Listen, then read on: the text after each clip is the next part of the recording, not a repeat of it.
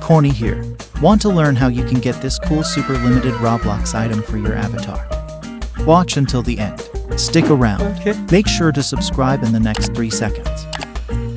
Also shout out to Kendrick Ewan, Cressy, and V. Let's go.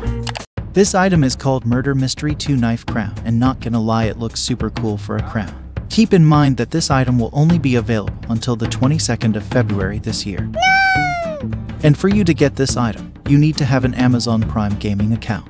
You may ask for your dad or mom's assistance and ask them if they have an existing Amazon Prime account to claim the free code. You may use the free trial and cancel the subscription right away once you copy the code for the knife crown item. Another thing to keep in mind is that it needs credentials for you to successfully create a Prime Gaming account. Once you're done signing up for Prime Gaming, this claim code button will appear. Each code is unique and different, and for this guide, it will only work for my account.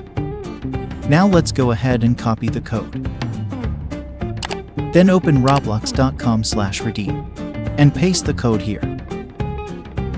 Click redeem. And I finally got it. Let's check it in our inventory.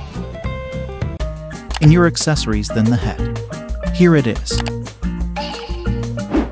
Yeah, I think this is worth getting. I'm loving the tiny details of this design. And there's even an animation. Perfect. Considering that this item is super limited, it will never be saturated since not everyone can have it. I'm so lucky that I can get this kind of item in Prime whenever I want. Oh my god! What do you think? Hmm. Also, make sure to check out this next free Roblox item guide. If you like to collect more items for your avatar, then feel free to unlock them.